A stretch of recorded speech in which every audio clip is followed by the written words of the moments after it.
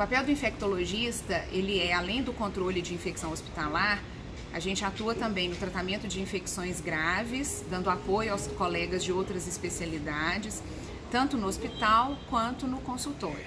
Essas infecções não são apenas as infecções bacterianas, mas também infecções causadas por outros micro-organismos. Além disso, o infectologista atua na área de vacinas, na área de pesquisa clínica para novas drogas para tratamento de infecções bacterianas, infecções virais, infecções fúngicas e também no desenvolvimento de novas vacinas. Nesse momento epidemiológico da, em que a gente combate aí o novo coronavírus, os infectologistas têm tido um papel bastante importante, não só na atuação dentro dos hospitais para ajudar a regulamentar os equipamentos de proteção individual, assistência aos pacientes e sempre preocupados com o profissional de saúde, também focados na legislação que orienta eh, esses tratamentos e essa assistência.